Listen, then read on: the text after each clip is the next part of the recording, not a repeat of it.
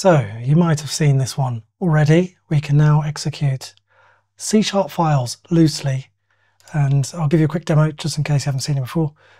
Wow C-sharp here, single file, no CS proj, nothing. Here's the empty folder. We can do ls, simple file, .NET run, wow C sharp.cs. This will compile and execute the program without a project file. Now, this is a really interesting feature, and I think it is far more important than people give it credit for. It was announced basically right at the end of the build, three hours before I published my last video saying there was nothing new in build. So here, here's the video, Damian Edwards announces it. Now, this is a great video to watch, you should watch the whole thing. But what's really interesting is if you head over to the Microsoft developer list of videos, yeah, and scroll right to the top, and see what they've just put out of build, okay? If we go back to say three days ago, most of these videos have barely any views at all.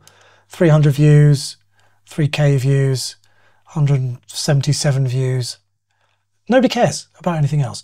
I personally think that this is the biggest and most important announcement for .NET developers at MS Build, and I'll tell you why.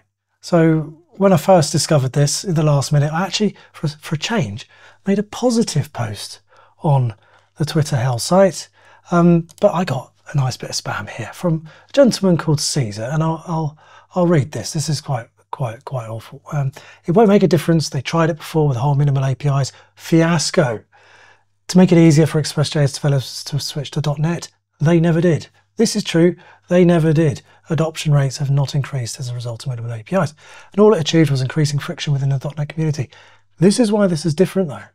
So let's go back in time to 2021 when Maria Naggaga, I think that's how you pronounce his surname, was on doing the pro, the product manager rounds for minimal APIs, and and everybody was skeptical. But uh, this is what she said now, about them. The goals for minimal APIs were a few.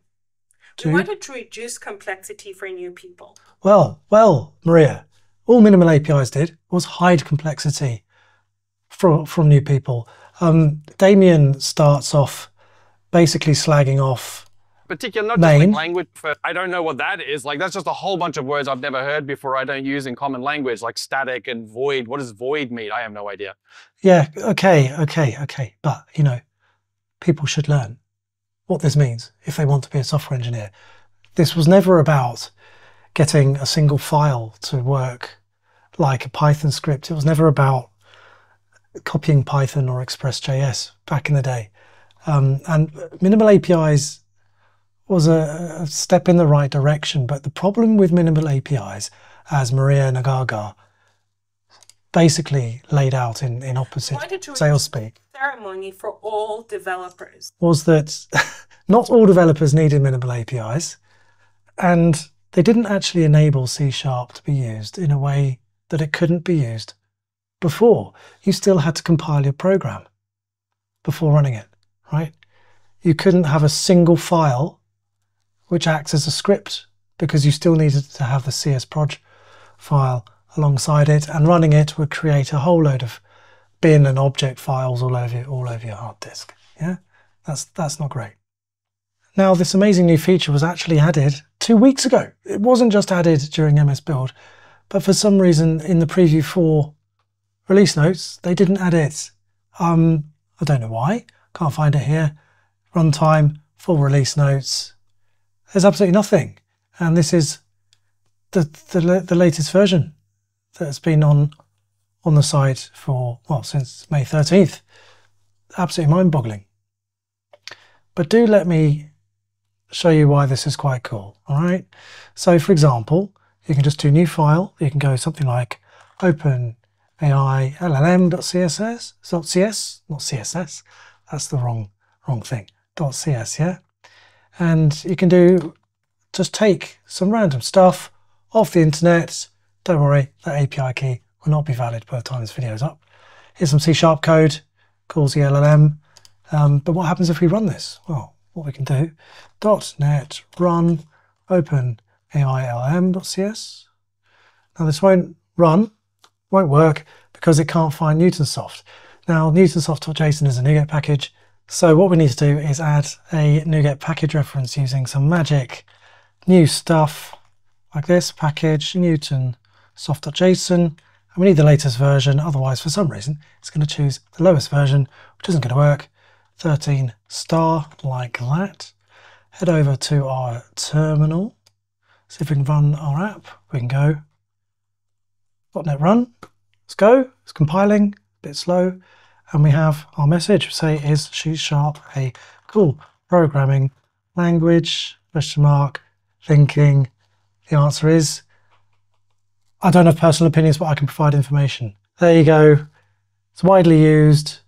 Whether a programming language is considered cool can be subjective and dependent on individual preferences and needs. Well, I think this is cool. This enables a brand new use case for C Sharp. I think it's great. They need to run with it because this might actually increase adoption of C Sharp, yeah, which is all I want. I want .NET and C Sharp to be popular and cool. Now, in some beautiful irony, uh, a, few a few weeks ago, I had some videos of when I visited the GitHub offices in a previous life. We're talking, this is 2013, maybe 2013 on an Apple iPhone 5. That's crazy. Anyway, um, this was actually a talk about a little thing called Script CS. Script CS was an attempt by the open source community to do just this. Uh, it's still there. Uh, this is this is a time machine of lost potential with C Sharp from back in the day. It was never taken on as a serious thing. Look, even their buttons are broken. The Microsoft teams didn't like it, probably because it ruined a whole business line of tooling. Um, and the main difference here is that you had to call script CS, not .NET Run, and the files were CSX, which was it, an executable CS file. What a waste. We could have had this 10 years ago, right? Script CS guys, thinking about you. Let's see what, let's see what we can do. What can we do to make C Sharp more popular? Come on. Come on, mankind. Here we go. Improve documentation, increase community engagement. Yeah, it's a good idea. Learning opportunities, showcase success stories. Well, I wish they would listen to their own LLMs. Thank you very much for watching.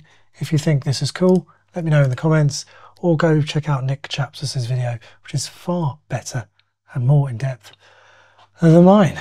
Cheers.